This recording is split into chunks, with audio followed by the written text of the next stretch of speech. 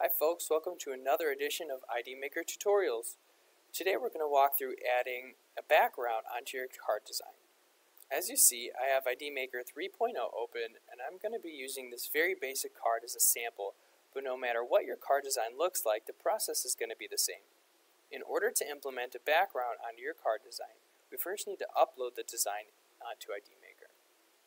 To do so, navigate to your clip art folder, click Add, and find the file from your file browser. Now that it's in the clip art section, go ahead and add it to the card with a double click.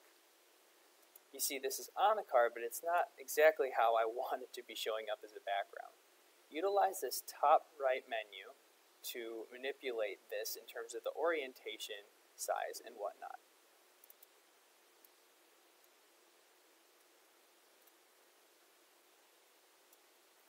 If you already had content on your card like I did, make sure the background image is selected and then utilize the top right menu again to send it to the back by clicking Layer and Send to Back.